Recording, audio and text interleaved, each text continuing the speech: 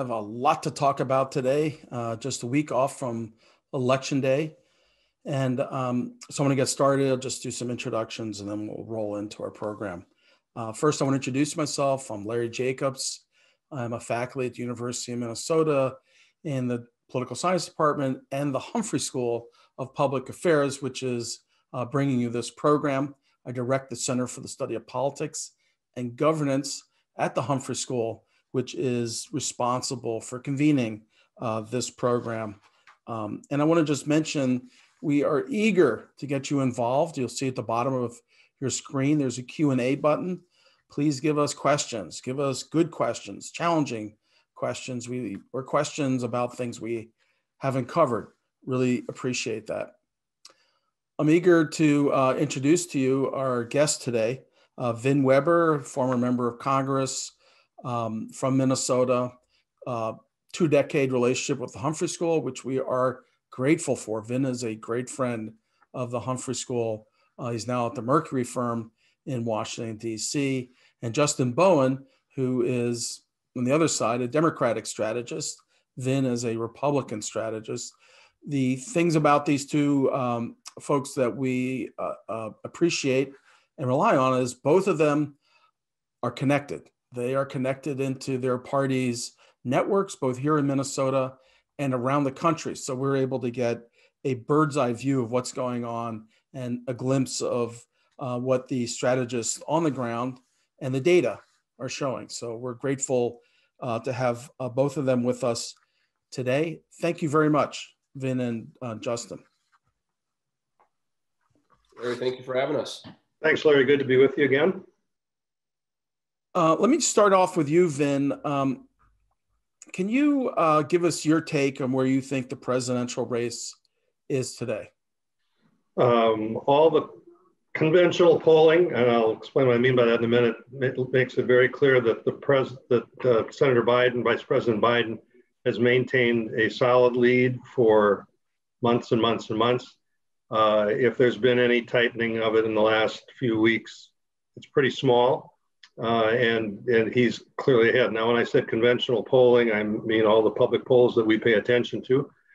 Um, there, the, the, there is a counter theory and I emphasize it's a theory that, that there is that these polls are understating what they would call the hidden Trump vote, Trump voters who simply won't tell a pollster who they're for. Um, it's a minority theory, but it is a theory advanced by a couple of different polling firms, the Trafalgar Group, uh, the Investors Business Daily Polling, and the Susquehanna poll, all of which have the advantage of having been closer to being right four years ago than they are now. So that's if that theory is right, and I underline if, then the next thing I'd say is I do believe the Trump campaign has a superior ground organization to turn out the vote. Uh, that is normally an advantage that accrues to an incumbent president because he has four years to build that organization, doesn't have to worry about fighting it out in the primaries. And so every president running for reelection, going back to Bill Clinton, has had a big advantage in terms of organization if the theory that there's a hidden Trump vote out there is correct, then that advantage will play substantially to the president's benefit. But you know, us us conventional types tend to think that the polls are more right than wrong. And we actually have seen in terms of the early voting numbers um, and the new voter registration that that door-to-door operation that the Trump organization has been running for months and months has produced more um, new registrations of voters uh, than the Democratic side. Yeah, and, and historically, you know, we've always had a combination of mail, telephone, and direct voter contact efforts to get the vote out. And we have always known that direct voter contact is more effective. So the fact that the, president's campaign has put that together is meaningful. But you have to, it, you, we've never thought that those vote, get, get out the vote techniques could account for more than a couple percent difference in the in the uh, election. So that's why I say you've got to believe the theory that says the race is really closer than most of the polling says that it is in order to believe that that advantage is enough to make a difference for President Trump. Thank you. Uh, Justin Buoen, for years, the Republicans had this advantage with their 72 hour get out the vote operation, their early voting. And their strategy was we're going to get in as many votes in the bucket as we can before that three day rush. Um, it looks like the strategies have been reversed because the Democrats appear to really be, uh, you know, taking advantage of mail-in ballots and early voting. And from the data we have, it appears that there are more uh, Democrats taking advantage of that than Republicans.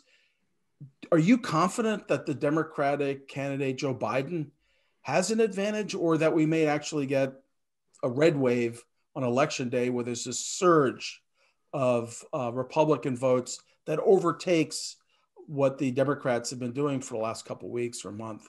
Well, I mean, I think I think you always want to have uh, votes in the bank. So if you if you're if we've got an advantage in early votes, then those are voters that that Democratic uh, campaigns don't have to have to talk with between now and election day, and they can spend their time turning out voters that don't always uh, participate or only participate in presidential elections and and talking to the swing voters. So I mean, I think it's always to your advantage to to push votes in before the election uh, and, and encourage people to, to vote before the election. And also, um, you know, that, that uh, prevents any last minute uh, uh destabilizations, destabilizations in the race um, um, down the home stretch.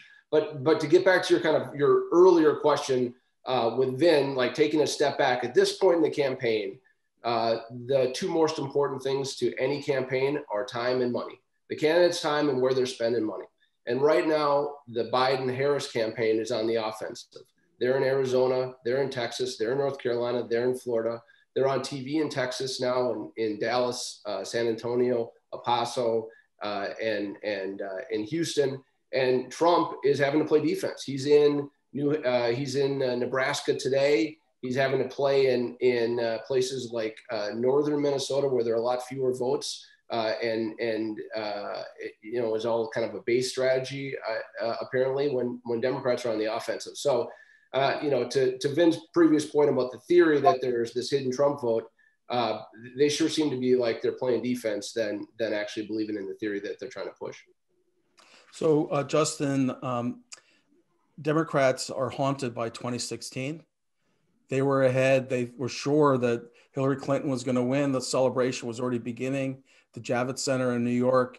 Uh, and so you've got a lot of jumpy Democrats out there who might hear you and say, yeah, but, and um, you probably know Tom Bonier, who's the head of the Democratic data firm Target Smart. And yep. he recently gave a kind of a, a video uh, talk where he warned about more known unknowns than ever before because of the coronavirus, because of the change in the Democratic uh, strategy of not um, doing door to doors as extensively. And he lists a whole series of reasons why there should be caution. One is that we know so little about this current election circumstances. He said it's likely or possible that small variations in turnout projections based on our models could have substantial effects. He warns about this um, GOP uh, wave on election day of voters just swamping and and really matching and overmatching Democrats in key states. He also warns about the pattern we saw in the primaries of a number of the Democratic mail-in ballots being faulty, and obviously a lot of um, you know uh, lawsuits going to probably end up with Justice Barrett having a say in them, but a lot of them are going to be about these so-called spoiled ballots. Um, does that make you nervous? Does all that uncertainty give you some grounds for pause that maybe this isn't going to go as you expected? Well, I mean, I, I, think that those are all valid valid points, and and to be clear, the Biden campaign isn't you know taking the next uh, seven days off and calling this thing a, a victory. They're they're pushing the the pedal uh, down, and that's why he's going to be campaigning in Wisconsin and Iowa. Um, you know, and so a couple of other factors I think that can help predict how the election is going to go. Enthusiasm. I mean, Democrats, the participation level by Democrats in early voting and in small dollar fundraising is unlike anything we've ever seen before. Uh, and so Democrats are fired up and, and, and engaged.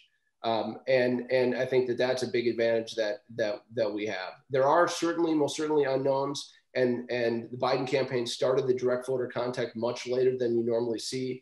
In uh, in presidential years, but but they are um, you know there are going door to door in many states where COVID numbers aren't aren't so high, and um, and and when they're able to follow uh, health guidelines. But the other thing is this race has been relatively stable for a long time. Um, and uh, and the COVID numbers are getting worse, not better. That's Trump's biggest Achilles heel. Uh, the jobs numbers aren't improving at the level that that he likes. And again, I'll go back to just where they're campaigning. They're not reaching out uh, to uh, to Obama, Trump voters, or swing voters. They're trying to still shore up their base, both in the rhetoric that the president's using and the places and parts of the states that he's going to, where he's going. Yeah, I did notice that Donald Trump spent a full day in Pennsylvania, hitting those areas where he did well in 2016. So, um, and Biden is playing defense, or at least he's trying to uh, fight to to win that state. And the polls have been mostly stable, but they've gone up and down a little bit. Vin, do, when you look at the Republican and Democratic uh, voters, do they look comparably enthusiastic, or do you think Republicans have an advantage in terms of that excitement for for the president? I think that we have an advantage. I I, I think the Republicans have an advantage. I think Justin is right. There's a lot of enthusiasm on the Democratic side, but it's much more negative enthusiasm. It's enthusiasm for getting rid of Donald Trump, whereas the enthusiasm on the Republican side is for the president. And I think that helps back to the point we made earlier about motivating the organization uh, on election day itself and actually getting people out there. The, the, the crowds that people ridicule the crowds that the president gets a little bit and they criticize him because people aren't wearing masks and all that thing like that. On the other hand, he's getting huge crowds all the time. And you know that's that's not nothing. And as we've talked about before, Larry, the Trump campaign for years has used these events not just to make the president feel good about people cheering for him, but to actually collect data on everybody that attends and start communicating with them. And uh, they've got a very sophisticated database communications network to contact everybody that's ever been to a Trump event. And I think that it's I think that it gives an edge in terms of enthusiasm. Now, let me say, we're, they're projecting we may have 160 million votes. That indicates a lot of enthusiasm on both sides. I wouldn't want to overstate any advantage, but I think if there is one, it's a little bit on the Republican side. Usually, and maybe this is no longer the case, we talk about high turnout elections. The old, you know, kind of uh, rule of thumb was when when turnout is higher, Democrats do better. Um, is that not right anymore? I, I, don't think it's ever been absolutely right. I, I, think it, it all depends on who turns out you know, go back to when, you know, when, when Reagan was elected, we wanted higher turnout because Reagan was turning out a lot of formerly Democratic voters that wanted to vote Republican. So it, it just depends entirely on who's turning out. When, when, oh, when oh, there was always the theory, of course, that minority voters turned out in lower numbers and they tended to vote Democrat. So that was good. Well, minority voters turned out for President Obama in larger numbers than white voters did. So it, it just depends on who, who is voting. I, I do not think that low turnout elections necessarily favor the Republicans. I think that both parties need to get their votes out. And the country is relatively closely divided ideologically, so it depends on who turns their vote out. I mean, when you're hearing numbers coming out of Texas of, you know, potentially record numbers of votes, I've seen, you know, independent and Democrats saying, well, if we hit this number, it's going to be a Democratic win you wouldn't necessarily buy that. It's it's it, you know we don't know enough about that data. No, no, I, I I I don't buy it. I also don't discount it. I just think we don't know. I do, I do think just to put in perspective for for the listeners. So in 2016 we had about 137 million people participate. And to Vin's point, I mean 538 is predicting somewhere between 145 and 165. So a massive increase in level of participation. Some of that has to do with there are more eligible voters now than there was four years ago, uh, some demographic changes. Another thing has to do with their, uh, uh, you know, enthusiasm and voter registration by communities of color in higher numbers than there were four years ago. And some of the um, uh, some of the laws on the felony disenfranchisement uh, have changed in some of these states as well, so increased the likelihood of some of the people participating. And you know the anecdotal stuff and, and the hard data that i've seen from these campaigns is that young people are, are registering and participating and the early vote numbers uh, continue to kind of show some strength for for joe biden Um, and you know, I I, I do uh, concede the point to Vin that that the Trump uh, team has big rallies, but the Biden folks aren't trying to have rallies. They're trying to be safe and they're trying not to spread COVID. And uh, uh, and uh, I think uh, there's a lot of enthusiasm for Joe Biden and against Donald Trump, and combine that together, and, and the Democratic base is fired up. I think the most I think the most important variable, and Justin just talked about it, is young voters. If you talk about voters that perennially do not turn out and who are overwhelmingly in the polls supportive of Biden this time, it's young voters. If the turnout we're seeing reflects genuinely a significantly higher turnout by young voters, that's unquestionably a good thing for Biden. Uh, the only thing I'll add to that is like we've seen a shift in in, in vote by seniors, uh, at least in some of the polling now that are concerned about COVID, the response to COVID, and are supporting Joe Biden in higher numbers than they supported Hillary Clinton in 2016 as well. And that's why places like Florida and Arizona are much more in play, uh, places that have higher number of, of retirees. And of course, there's the issue uh, about Hispanic turnout and votes. The polls have been kind of back and forth on that. Um, and there's questions about whether Joe Biden is going to be able to uh, reach the levels of Barack Obama or even Hillary Clinton, um, and that the president has been eating away, according to some of the analysts, at the Democratic advantage among Hispanics and Latinos, um, and even among African Americans. Vin, do you do you think that's true when you look at yes. Texas or Florida or or some of the other key states?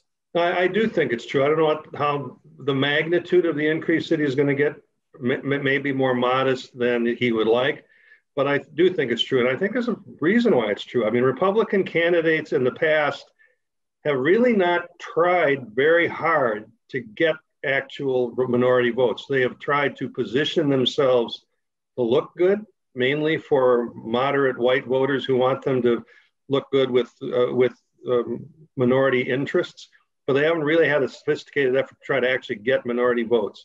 That's not true this time. The Trump campaign has really devoted resources to the Hispanic community and the African American community, not just to get them nice photo ops, but to actually try to get minority votes. And I think that there are votes there to be had. Um, he is he's identifying himself with working class people, uh, and there are a lot of working class people in the minority communities who have the same interests as working class white folks when it comes to the economics and the, other issues like that. So I think that he can, I think that he will increase his percentages in those communities. How much is hard to say. I think this there is, was a, there was the moment. Just a second, Justin. There was a moment in the uh, debate last week where, or moment moments when uh, Donald Trump went after Joe Biden for supporting the uh, the reforming of sentencing um, as hurting African American males. Um, Joe Biden has now described that as a mistake, but that may be also another wedge into uh, the minority communities. Yes, Vin. Oh, well, I think I think it is. I mean, uh, that issue has changed dramatically over the years. When when Biden authored that bill in 1994, it was supported not just by the white community. It was supported mainly by by by the, the African American community that was concerned about crime in their neighborhoods. So yeah, he, he says it's a mistake now. That's fine, and it's certainly in the in the minority communities today, it's viewed as a serious mistake in law. That reflects a change substantially in people's view of that law, looking at it in the rear view mirror. But it's it's uh, it, it most people supported a tougher approach to crime at that, that particular point in our history, whether they're Republicans or Democrats, minorities or whites. That that was the the, the feeling in the mid 1990s that crime was a serious problem, needed to be addressed with tougher sentencing and everything else like that. The country's gone through a sea change on that issue and an intellectual change on that issue. Um, but it probably hurts Biden somewhat to have to take uh, take responsibility for that. He also switched his position on capital punishment. Joe part, part that hasn't gotten a lot of attention in this because, of course, Trump is a supporter of capital punishment, but Biden was a, a proponent of capital punishment. He has shifted on that issue as well. That shows, again, in my view, more how the country is changing than how individual politicians are changing. Uh, Justin, uh, how do you size up the the strength of uh, Biden among uh, communities of color? Well, I think that you know all the polling has shown that he's that he's doing incredibly well. Uh, but I think the the uh, other advantage he has is Barack and Michelle Obama, and you're going to see the two of them spend a lot of time in Florida uh, and in Pennsylvania and in Michigan over the next few days. Uh, you know, you talked about putting kind of that 2008 2012 Obama coalition back together. Uh, I think that he's going to spend uh, a great deal of time traveling to those three states as well as Michelle and and and showing um, uh, showing them why um, folks in that community why they're why they're supporting Joe Biden why he's the right choice for president. And I think you're gonna you're gonna see more enthusiasm as those in, in the final days as, as they're out on the trail. Um, then uh, I remember back in uh, 1980 election with uh, and people don't remember this, but the race between Carter and Reagan was very close. It was really the last 10 days when it shifted in Reagan's advantage. Um, and one of the things that hurt uh, President Carter was that the hostage crisis was on the news 24 7. One of the networks, that was a time when networks dominated the news, uh, they had a special show just counting the number of days that American hostages were held in yeah, Iran. Ted, Ted Koppel, if I remember right. Yeah, exactly. And so the question then was having that bad news for Carter uh, out there in people's minds, the front of their minds as they're voting, uh, hurt him. So let's come to 2020, in which it's hard to open a newspaper and not see, you know, the coronavirus. Um, and in yesterday's paper, you've got the president just sick and tired of all the news about COVID, COVID, COVID, as he said. Meanwhile, you've got his chief of staff, who's apparently not getting the White House memos, who has said on Sunday, we're not going to control the pandemic, which I guess led to a guffaw in the White House and with Trump of, come on, we've got to, we've got to respond to this. Does the president have a significant disadvantage? Not only is he not trusted on that issue, but the news focus on the coronavirus and that 24 7 cycle, it's just killing him, isn't it? Yeah, it, there's no question about it. That and Biden is correctly from a strategic standpoint, basically trying to make that the only issue in the campaign. That's why he's reluctant to commit himself on other things like court packing that ought to be legitimate issues, because he understands that to the extent that COVID is the issue, it really hurts the president badly. There's only two questions about that, and I'll go back to your 1980 reference, Larry. First of all, sometimes people conclude that the government can't do anything about a problem. Uh, the big issue in the late 1970s was inflation. Every poll we saw, and then going up to 1980, said that inflation was the biggest concern on the public's mind. But they also said the public did not believe that it mattered who they elected to deal with that problem. They cared about taxes and things like that that they thought the government could actually do something about. So that that's one question: Does does the public think that it will matter in terms of uh, approaching the COVID crisis, who they elect. And the second thing back to 1980, it's very simple. You know, Reagan simply had to establish that he was a responsible and acceptable alternative to a president that they wanted to get rid of. And he did that. And when, when by the time he achieved that, some people say it was because of his debate performance, probably that and other things. It, it, it just it just sort of collapsed on Carter, and and that's still Biden seems to have have withstood most of Trump's attacks, but there's still a few days to go, and he's made. I think he made a mistake on energy policy in the last debate that's hurting him. I don't know that he's made a disqualifying mistake yet, but it's a, it's it's a similar situation a little bit with Reagan in 1980. If the public gets comfortable with him, and as I said, if the public thinks that the government can really do something about the biggest problem they've identified, that's all good news for Biden. Justin, was that a mistake by Joe Biden at the end of the debate to mention that he supported a transition from oil, or was that kind of calculated to park that, you know, towards the end of the debate as a way to charge up uh, voters who are most intense about climate change? Yeah, I don't know if it was a calculation or if it was uh, uh, uh planned out the way it was. I mean, I think that Vice President answered the question honestly uh, that you know the country needs to be looking towards an energy future and everyone understands that there's going to be a long bridge to that uh, energy, uh, um, you know, the lack of fossil fuels or elimination of fossil fuels eventually.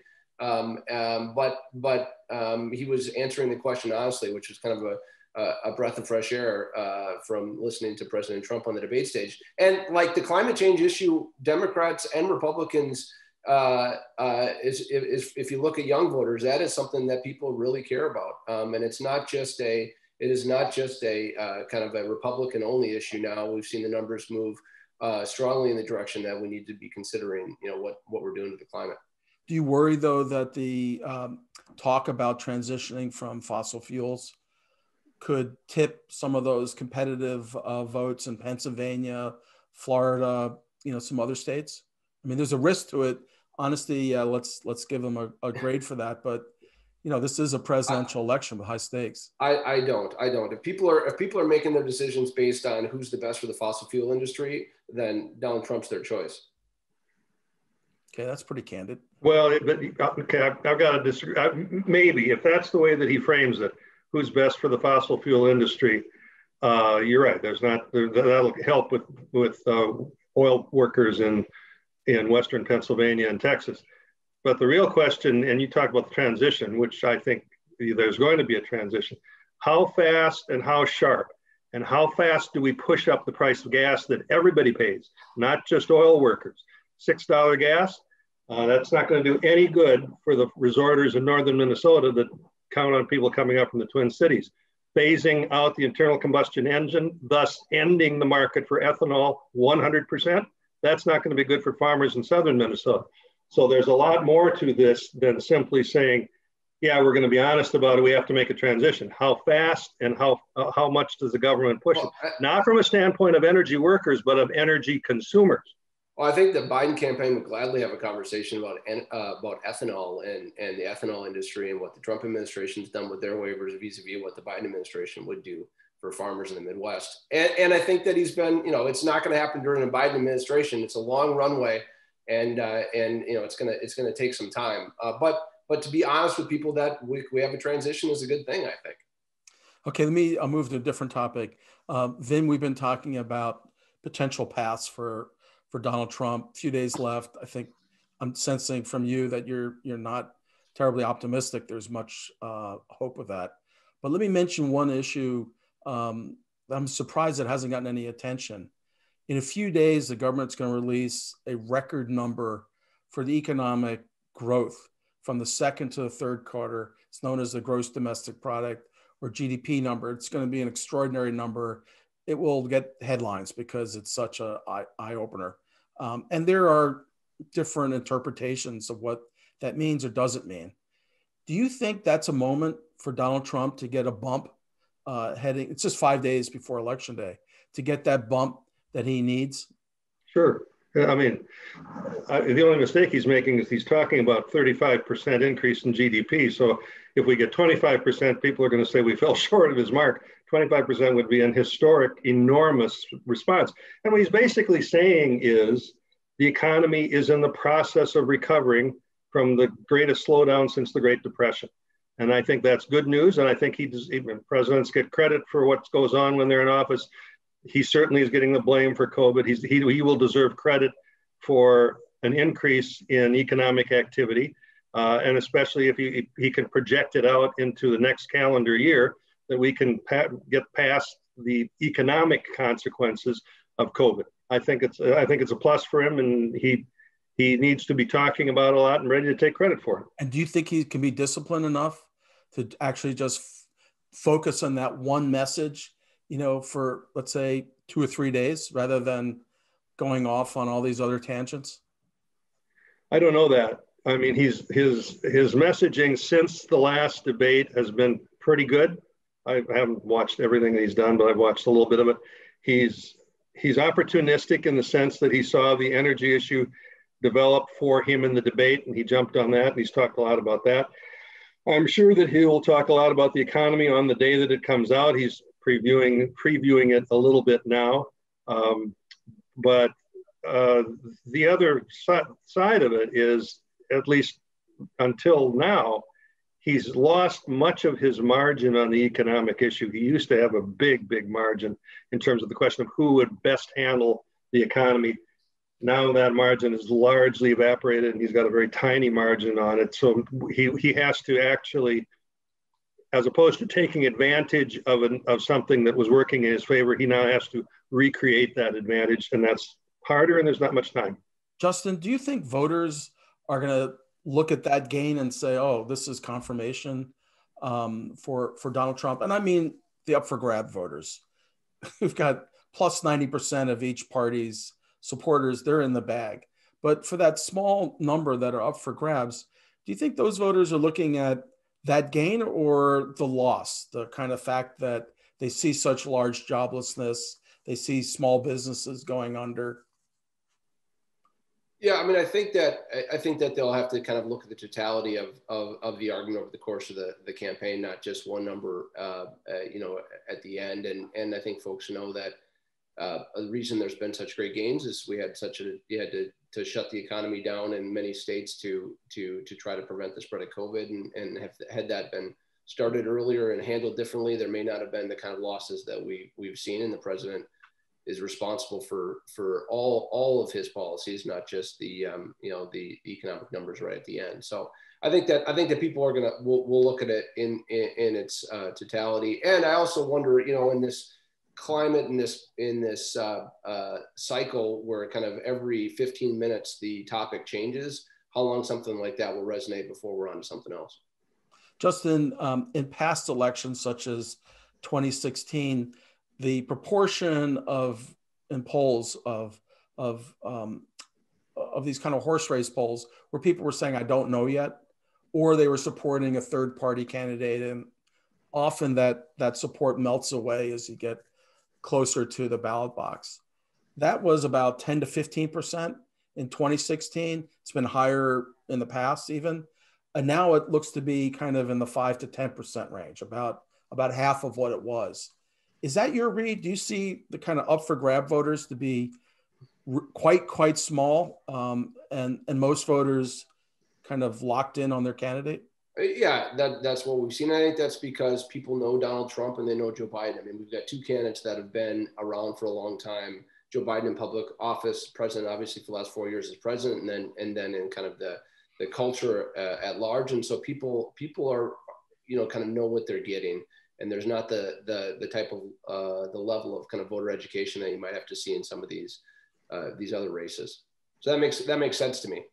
And and then, if it's true that there's only you know, you know maybe seven percent or so of the electorate that's up for grabs, does that make it even harder for the president to do a comeback because you know it's there's just few votes around to to actually win over? Sure. I mean, the, the, we've throughout all of this, you know, the, the craziness of 2020, as we've talked about in this this program, the president's approval rating hasn't changed very much. It it drops down every now and then, but I basically peg it at around 45% of the people had at one time or another have said they approve of the president. And presidential voting usually is pretty well pegged to the president's approval rating. Um, you can win with the minority of the vote, but you probably can't win with 45% of the vote. So he's got to pick up either a bunch of those undecideds, who, as you point out, are very low in number, or do the much harder job of trying to convince a handful of Biden voters to switch to him, which is very, very difficult to do. So yeah, it's the, the he'd, he'd, he'd, he'd like to have a much bigger pool to fish in, but the, he is he's got what he's got. Then we've got a question here from Chris Moen. He said the silent Trump voter idea is all well and good, but what about the disaffected Republican voters? Well, there are certainly some of them, although the polls indicate not very much. The president's got a very strong base in the Republican Party, 90 plus percent. Uh, Biden has a strong base in the Democratic Party too. It's mainly anti Trump, but the president has a very strong base. Also, I would say that a difference is I don't think those disaffected Republican voters are silent about it. They seem pretty vocal. Uh, what we're talking about with the Trump, the theory of the Trump, the silent Trump voter is there are people that don't want their neighbors to know that they're voting for Trump. And again, I said it's a theory. I don't know if it holds water or not, but I don't think it's I don't think it's a parallel case to disaffected Republicans who have been quite vocal, although small in number. Justin, do you agree with that? Um, I think I think that that probably is right. I mean, you know, to Vince's point, you know, the Lincoln Project. We don't need to go any further than the Lincoln Project to see disaffected Republicans and and their uh, their level of, of making noise and uh, participation in the cycle. And so I think we've I think that we've uh, we, we've got um, Republicans that have decided that they've had enough, the never Trumpers that have always been around, and I think that group has gotten bigger. But, but it, I mean, statistically, there's the you know the Lincoln Project, which is great fun for Democrats sure. to watch. But when you look at the polling data, it still looks, you know, well more than 90% of Republicans, or at least those saying they're Republican, or supporting the president. Isn't that right? I think I think what we've probably seen is a shift away from people that identify themselves as Republicans and identify themselves as independents. Um, I think that's why places like the third congressional district in Minnesota is now so solidly blue uh, when it was been a Republican, you know, kind of a, a, a Republican uh, slash independent district for so long. So I think that's that's probably a big shift. But the people that identify themselves as Republicans now are with the president. Yeah, they're like the they're like the Reagan Democrats. Who the only problem with that phrase is they weren't Democrats anymore. yeah. Um, got a couple questions here, including one from Emil Quast about electoral college. We're talking about the popular vote. Justin, are you worried about the electoral college? Maybe Joe Biden wins popular vote like Hillary Clinton and loses electoral college.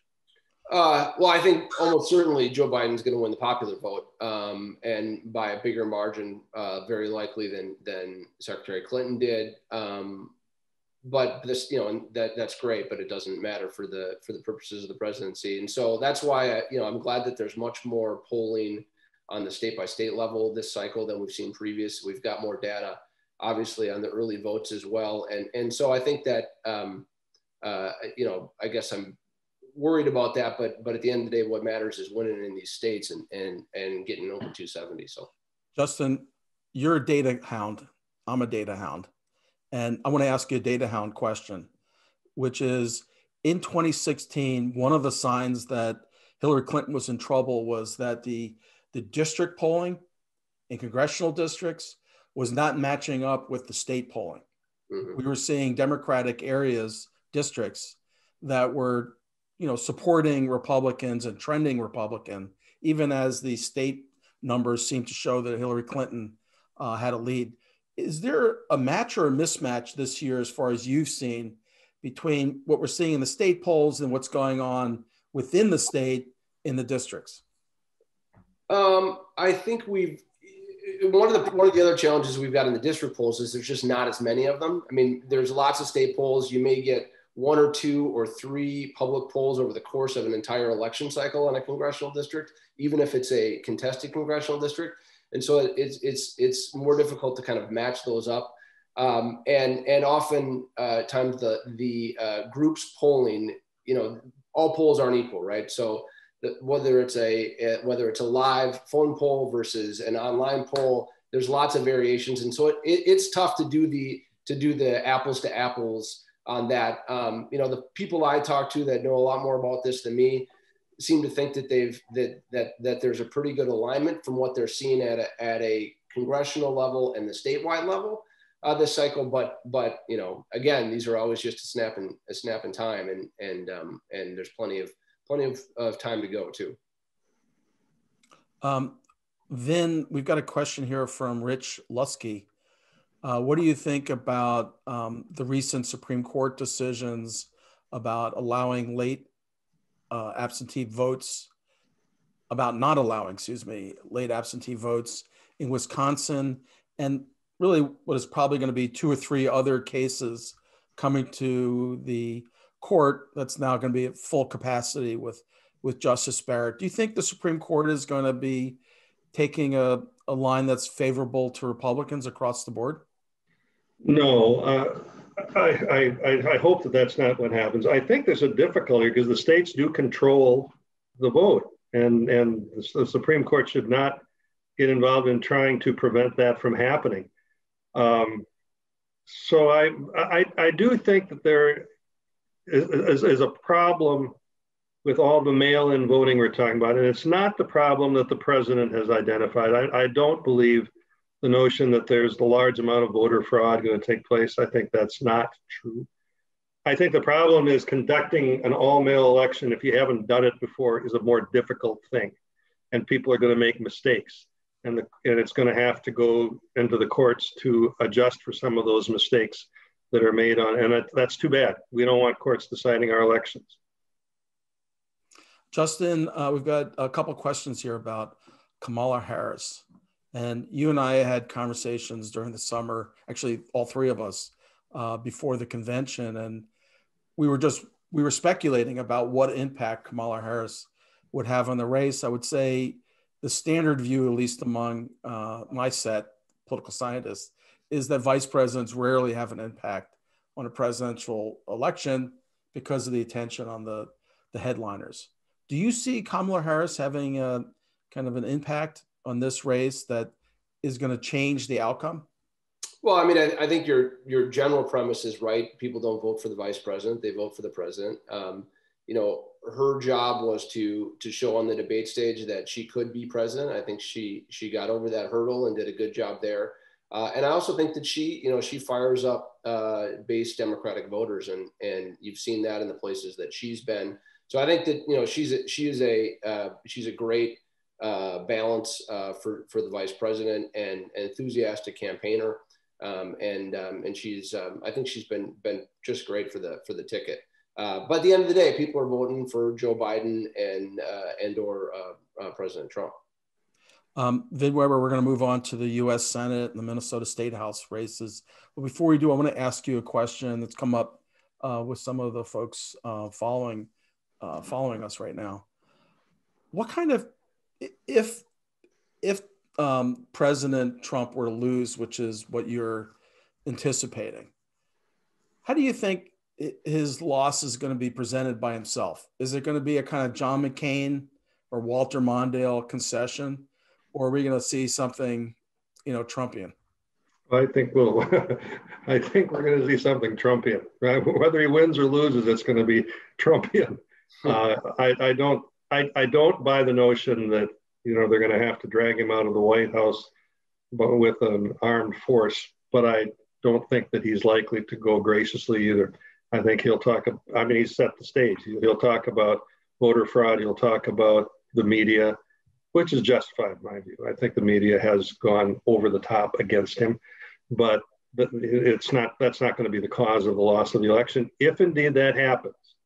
Um, so I, you know, I think I think that he will not go quietly but he'll go. And, and the, the notion that we're going to have a constitutional crisis, unless it is an extremely close election, I don't think that's I don't think that's going to happen.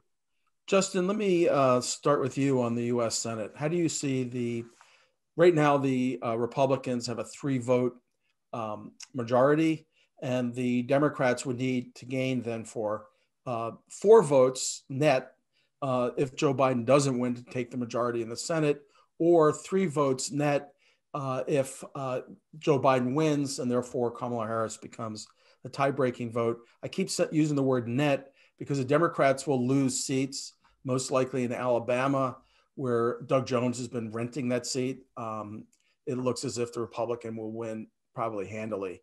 But Justin, could you give us your read on what the state, the the kind of state of play is in yeah. the U.S. Senate? Yeah. So you know, similarly to to the the Biden kind of battleground state, I'm playing offensive uh, uh, um, strategy. I mean, we've got one contested uh, Democratic Senate seat that that is kind of uh, that's lean Republican and is the hardest one, which is Alabama and Doug Jones. Uh, and and after that, we're either ahead in or tied in uh, between eight and ten other polls. Um, you know, Arizona. Mark Kelly is going to win in Arizona. Uh, Governor Hickenlooper is going to win in Colorado. Um, we're either ahead or tied in Iowa with Joni Ernst race down there. I, th- I think there's some more polling coming out tonight that's going to show uh, uh, show Ernst behind. Biden's going to be there on Friday. Uh, Susan, the Susan Collins race in Maine.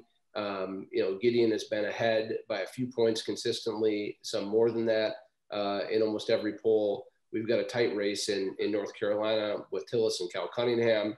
Uh, and and then Bullock in in Montana uh, is either a couple points down or a couple points ahead Uh, and so we're playing offense on all those in all those states, and that doesn't include South Carolina, where where uh, uh, Lindsey Graham is is in a, a, shockingly close race with Jamie Harrison raising you know almost sixty million dollars last quarter, and and uh, the campaign he's running, and then we've got two Georgia uh, uh, elections that um, if if neither of the candidates can get over fifty percent plus one, we'll see a runoff in January, two Republican seats there as well, and so uh, you know, I'd much rather be in our position than theirs. We're playing offense all over the all over the country, um, and um, so I think that the I think that's a good this is a good position for Democrats to be in the final week. Vin, do you agree? Not not entirely. I think I, I probably would have agreed entirely about a month or two months ago, and I do agree with the first the first three seats that Justin and Democrats talking about: uh, Arizona, Colorado, and Maine. Now, those are all competent Republican candidates, but they're definitely behind and they've been behind for a long time. And the dynamics of those states don't seem to be helping Republicans this time around. So I think I probably would agree that those are going to be won by the Democrats. I don't concede any of the other seats you're talking about, though. I think that Daines is now pulled ahead in Montana. Uh, he's up against the governor, who's a formidable, formidable opponent. Um, but in that state, Trump ought to help him somewhat. I think he'll win. Lindsey Graham has indeed got a fight on his hands, and the money that's pouring in on the Democratic side is substantial. But the pull of the Republicans in South Carolina is pretty strong. And I don't think he's going to lose. We'll see about North Carolina. Um, it's hard for me to believe that the scandal around Cunningham is going to be disregarded by people of North Carolina, especially since he ran on a has been running on a program of character. Um, we'll see. I, I would guess that Tillis will still be able to, to pull that out.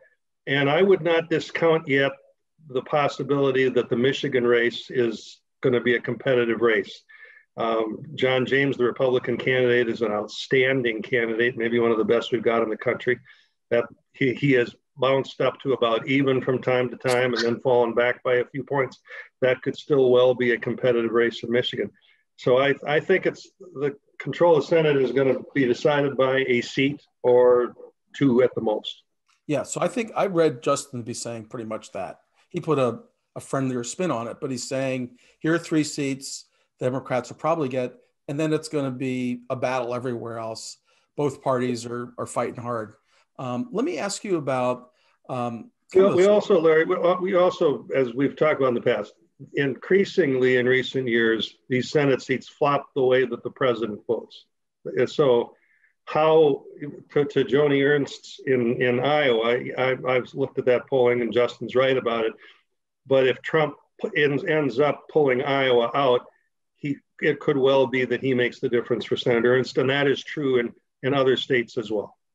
My colleague, um, Daniel Hopkins, has written a terrific book on the nationalization of our elections with polarization, sorting so many voters in the one party or another, and the fact that the news coverage of state and local elections has really plummeted. Our focus tends to be on the national race. And if it tips one way, we're just seeing more often than not a strong uh, tilt down ballot. Um, uh, and so, yes, I agree with you. Iowa could be one of those seats really interesting race uh, in Georgia. Um, there are two, um, and there's one in which uh, Raphael uh, Warnock is running. He is the pastor at Ebenezer Church, where Dr. King was the pastor, and he's doing quite well. The hit, the, the footnote there though is he won't get a majority. Therefore, there'll be a runoff election, which is Georgia law, and there's always an issue there about the Republican um, candidates consolidating and then beating um, the Democrats. I'm not sure this year. Justin, do you have a read on that Georgia race? Uh, I think that I think that your your analysis is right. We're gonna we're gonna go to a runoff, uh, and it may be a runoff, and there may be two runoffs in Georgia that that will decide the U.S. Senate, and they'll be very expensive, and there'll be a lot of uh, there'll be lots of ads and lots of activity down there. Um, so you know, I, I, think that we're gonna have to wait wait and see. I mean, we've got a fired up, obviously a fired up uh, a base uh, down there this cycle after what happened four years ago or two years ago rather uh, in the Stacey Abrams race. African American community is uh, registering and turning out in, in record numbers. I mean, but taking a step back, just to, speaking about the Senate, just to look at where we're at, we're talking about Democrats winning in Arizona, Montana, North Carolina, Iowa, maybe South Carolina. Like this is where we're at. This was not. You're, you're talking about that. well, they're either they're either ahead or in the margin of error in these places, or down a couple points. Okay, and we'll check. So these are competitive Senate races, and this was supposed to be the cycle. The Republicans were going to hold the Senate, and Democrats are clearly at, at, an advantage right now heading into the election day. Okay, we got we got your read on that. Let's come interesting back. Point, interesting point about Georgia. If we go to two runoffs in Georgia, the advantage in those races will go to whichever party loses the White House. Because it'll be, in essence, the first midterm election, and midterms are not good for the party that wins the presidency. Um, let me jump into Minnesota uh, and the U.S. Senate race between Jason Lewis, who unfortunately had emergency surgery, and we're thankful that he appears to be recovering well. Um, and he's up against the incumbent, Tina Smith, the Democrat. Uh, last week, we had a poll by Survey USA, which um, Nate Silver uh, grades it out as an A, so it's well regarded. Um, and the Survey USA poll had Tina Smith up only a point. And I would note that a few weeks earlier, Survey USA had Tina Smith up by 11, and then back, excuse me, had me had her up by seven. Back in September, Survey USA poll had her up by 11. So 11, 7, 1. Justin, is that legitimate, those results? Do you think Tina Smith may have some softness there? Well, I haven't dug into the crosstabs of the Survey USA poll, and you know the one thing I saw in that is that they had, I think, a 12% undecided number, which we talked about earlier. I think feels high to me, uh, and I don't know how they how they figured with the actual you know 1.3 million Minnesotans that have already voted and how that was figured into the mm-hmm. into the calculus. Um, it, it, feels different on the ground. It feels like uh, Tina is running either ahead of or very close to Joe Biden. Um, you know, she's been running now for three plus years. She's been on TV and been campaigning. Uh, and so Minnesotans, I think, know her. Um, and uh, you know, she's been an effective legislator and um, and worked across the aisle. She's she's on the Ag Committee, which is important to folks, obviously in all of Minnesota, but in particular in, in Greater Minnesota. And so it doesn't doesn't feel right uh, that it's that close. Um, it, you know, as far as I can see on the ground now. It's good for Tina's fundraising, and it's good to fire up the base and turn people out. So, so uh, I'm sure they'll take advantage of that. Vin, do you think uh, Jason Lewis has a shot here, or is this just bad polling? Uh, no, I I do think he's got a shot, and I uh, partially because it's what you said. It's it's a respectable poll. The tracking on the presidential race has also so, also showed a narrowing in Minnesota in the last three polls, although they still show the president behind by six points. I, I, I tried to look at the crosstabs to the extent that I could, although I'm, I'm kind of pulling this out of my hat. If I one thing that I think I saw was that uh, Jason was doing significantly better than the president in the suburbs. Uh, and if that's the case, and if I'm remembering that correctly, it kind of bears out his strategy of trying to talk a lot about the violence in the Twin Cities and make that an issue in suburban areas that should be concerned about it. If that's the case, then this is it's not just a fluke or a bad poll, it's a strategy that is actually working on Jason's behalf. And uh, I think that that's at least substantially possible. Let me uh, talk about the congressional races in Minnesota. We've got very close races in Congressional District 1, which is in the South, Hagedorn and Feehan, who's the Democrat. And that race was one of the closest uh, in, the, um, in the 2018 election that Hagedorn won.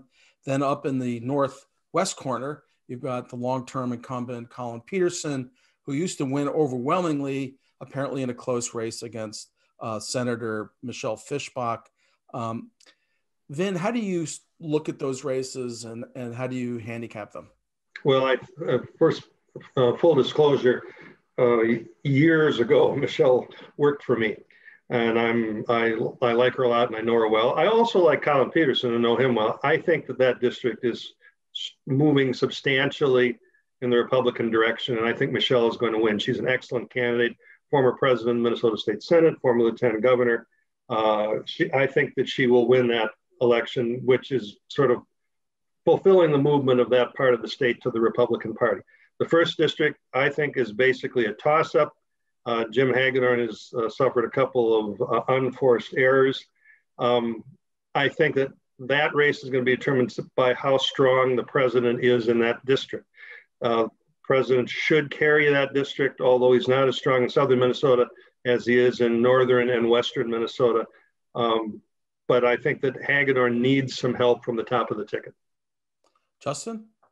Um, so I think the uh, the seventh is is absolutely close. So Collin won up there by four percent uh, in 2018. Um, every two years, we hear Republicans are going to be Collin Peterson. Uh, every year he wins. Uh, you know, the polling I've seen, internal polling I've seen on the district, Biden's running about 10 points better than Hillary Clinton did up there, which which should help Collin. He's the chair of the Ag Committee. He knows Red River Valley better than anybody. I think that that uh, matters to people up there, and I think there are going to be a lot of uh, Peterson Trump voters again this cycle up there. Um, and then the first, I, you know, I agree with Vin. I think it's going to be it's that's super close. Uh, you know, the Hagedorn, uh, you know, kind of every few days seems like a bad story out of the out of the district. There, you got Dan Feehan, who was a great candidate, ran a very close race last time. Army Ranger teacher. Um, uh, I think Dan wins. I also think Biden wins the first. And let me just get to the state house because a lot of these folks we know they live here in Minnesota and they're they're kind of in our circles um, and they're very earnest about the elections. Um, but then, how much uh, do they? How much do the the House, which is currently controlled by the DFL, and the Senate, which is currently controlled by the Senate with three seats majority, how much do they control their own destiny? Less than they think. Uh, it, it, we've got good candidates all over, both parties running hard, working hard, raising money, taking polls, and they don't want to. It's it's a hard reality that a lot of them are dependent on how the president does, how the Senate race goes, maybe even how the congressional race goes, and that pull down ticket provides a lot of surprises on election day to the to the dismay often or the elation of the candidate that benefits or is damaged by it. So they're not entirely uh, in control of their own destiny. I do think this time the, the race for the state senate is the most important one because the Republicans control that. Um, and I think that they will, can, I think they're going to maintain control of the state senate. First of all, we have an excellent leader in Paul Gazelka, really one of the best we've had in, in, in the Republican Party. And more concretely, they're raising a lot of money. Republicans have had a disadvantage in fundraising toward the Dem- vis-a-vis the Democrats largely because of the great success of the uh, Alliance for Better Minnesota, which has done a really good job raising money for Democrats. The Senate Victory Fund is raising a lot of money this time around for Republicans. They're defending uh, their seats and trying to pick up one or two others. And they, even if Trump does not win Minnesota, he is likely to win in a majority of the state Senate seats because of the dispersion of the vote. So I, I think we're going to hold on to the state Senate. The House is, of course, much more difficult. Justin, do you, do you, agree that the Republicans have, a, have, are likely to hold on to the, the state senate? I think I think Democrats win the state senate. We've got uh, basically playing defense again here in a couple of districts. Matt Little's district, which Trump won by 10, and Matt won the same year. To your point of, is it all uh, kind of top down? Good candidates can make a difference in districts. Uh, and and then the Dan Sparks race are the kind of the two that that we're tracking on on on defense, and then the Anderson seat in 44 and the Dan Hill seat and uh, and then the St. Cloud and Rochester seats, I think there's opportunities for pickups for Democrats. So you see a path to a Democratic yeah. majority. Yeah. yeah. So let me ask you, uh, we're almost out of time. Just very quickly, a lot of people are just just at a wit's end about what to look for in election night. There's going to be lots of you know numbers flying up on the board. If you had just one or two things to track on election night to know how things are going, Justin, what would you recommend in terms of, you know, here's the thing to look for. It'll give you a kind of a leading indicator, not a guarantee, but an indicator. Yeah, first half of the night, I'd look to North Carolina and Florida, two states where the early vote is able to be released shortly after the polls close. If Vice President Biden is, you know, we might have 50, 60% of the vote in after uh, when polls close. If Vice President Biden is winning in both those states, it's next to impossible uh, for uh, for the president to uh, to carry the day. Great, Vin. And that's pretty much true. Um, uh, the only caveat I'd put on it is Florida is a little harder to make an early judgment about because the most Republican area of the state, the panhandle, is in the central time zone.